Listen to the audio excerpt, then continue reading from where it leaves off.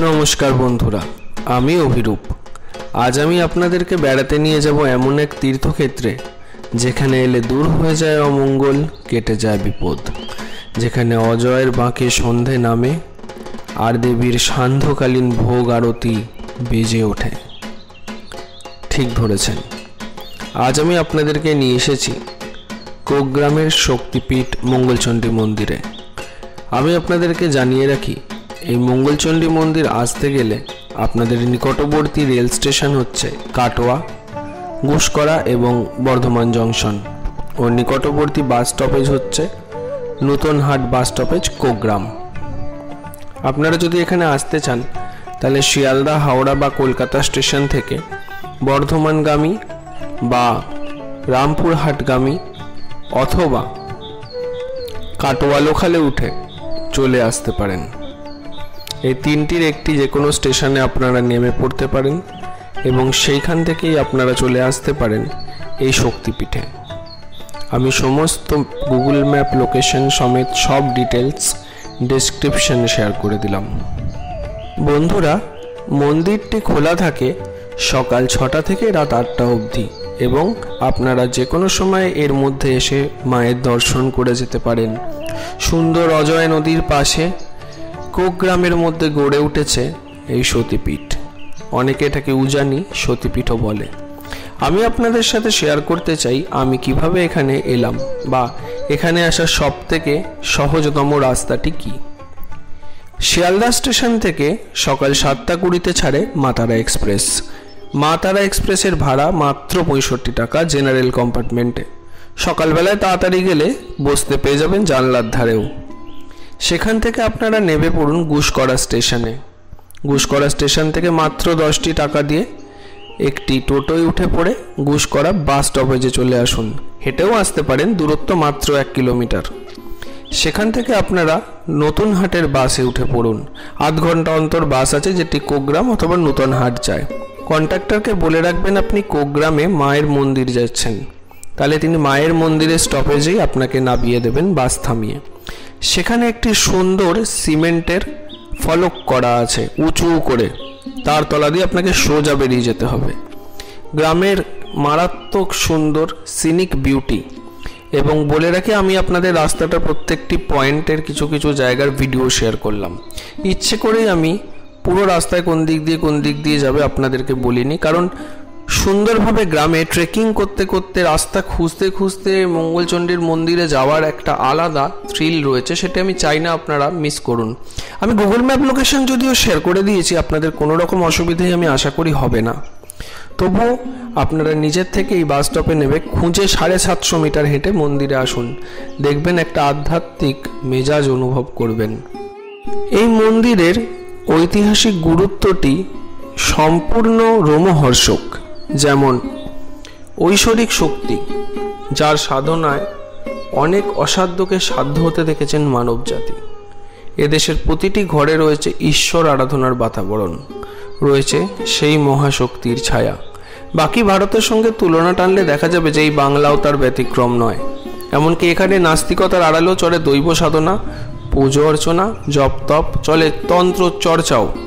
যার সাহায্যে জীবনে অনেক কঠিন পরিস্থিতিকে সহজে সামলে নেন ভক্তরাই। এই বাংলার আরও বড় সুবিধা যে এখানে রয়েছে বেশ কয়েকটি শক্তিপীঠ, বেশ কয়েকটি সিদ্ধপীঠ। এই বাংলায় জন্ম নিয়েছেন একের পর এক মহাপুরুষ। এমনই এক শক্তিপীঠ হলো পূর্ব বর্ধমান জেলার কোগ্রামের উজানি। পৌরাণিক কাহিনী অনুসারে যেখানে দেবী সতীর বাম হাতে কুনুই পড়েছিল, এখানে দেবী মঙ্গলচণ্ডী আর ভৈরব, কপিলেশ্বর বা কপিলাম্বর। হিন্দুদের একান্ন সতীপীঠের মধ্যে পীঠ নির্ণয় অনুযায়ী তেরোতম শক্তিপীঠ হল উজ্জয়িন। আর অন্নদামঙ্গল কাব্য অনুযায়ী জায়গাটার নাম উজানি। গবেষকদের ধারণা, ওডিয়ান মঙ্গলকোট অনুযায়ী কোগ্রামেই রয়েছে উজানি সতীপীঠ অজয় নদের পাড়ে এই মন্দিরে প্রথমে একটি বারান্দা পড়ে, তার ভিতরে আছে আয়তাকার গর্ভগৃহ, সেখানেই রয়েছে দেবী মঙ্গলচণ্ডীর ছোট্ট কালো পাথরের দশভুজা মূর্তি। আর ভৈরব কপিলাম্বর কালো পাথরের শিবলিঙ্গ। মন্দির খোলা থাকে সকাল ছটা থেকে রাত আটটা অবধি। এখানে দুর্গাপুজো কালী পুজো, চৈত্র নবরাত্রি, শিবরাত্রি বেশ ঘটা করে পালন করা হয়। জায়গাটা গুসকরা স্টেশন থেকে কুড়ি কিলোমিটার দূরে অবস্থিত। দেবী এখানে সিংহ বাহিনী। কথিত আছে এখানে দেবীর কাছে প্রার্থনা করলে তা বৃথা যায় না। প্রচলিত কাহিনী অনুযায়ী অভিশপ্ত স্বর্গের অপ্সরা। ফুল্লরা এখানে খুলনা রূপে জন্মগ্রহণ করেছিলেন। তিনি বিয়ে করেছিলেন ধনপতি সওদাগরকে। শিবভক্ত সওদাগর বাণিজ্যে বের হওয়ার আগে দেবীর ঘটে লাথি মেরেছিলেন। এরপর তিনি আর উজানি নগরের দিকে ফিরতে পারেননি। শেষ পর্যন্ত দেবী মঙ্গলচণ্ডীকে পুজোয় সন্তুষ্ট করে খুলনা তার বর হিসেবে তার স্বামীকে ফিরে আনার মতো আশীর্বাদ চেয়ে নেন এবং স্বামী ফিরেও আসেন। বলে রাখি, এই উজানি শক্তিপীঠের একটি অন্যতম মাহাত্ম্যও আছে। সেটি হচ্ছে গিয়ে মায়ের যখন বাম বামকুনুই এখানে পড়েছিল, তারপরেই এখানে তৈরি হয়েছিল এই শক্তিপীঠ। এবং দু হাজার ছয় সালে মন্দিরটি সারানো এবং বাড়ানো হয়।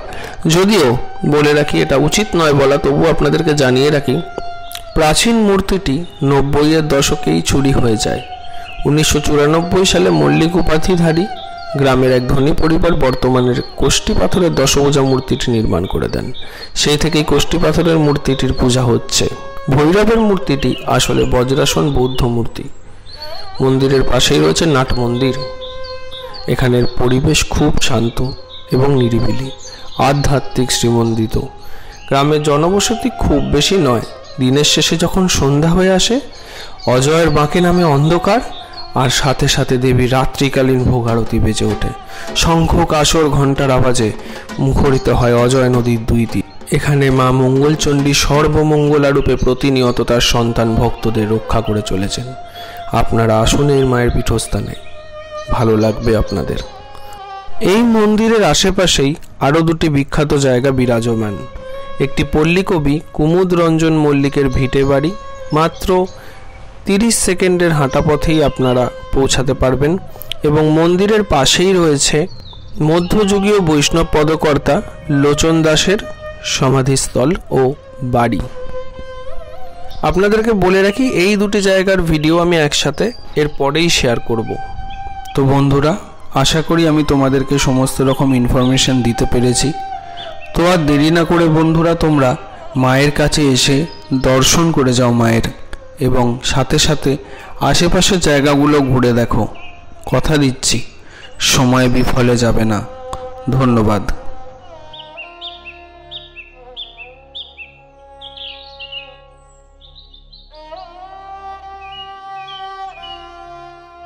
তো বন্ধুরা, আমি এসেছি সপ্তর্ষির সাথে, আমি অভিরূপ।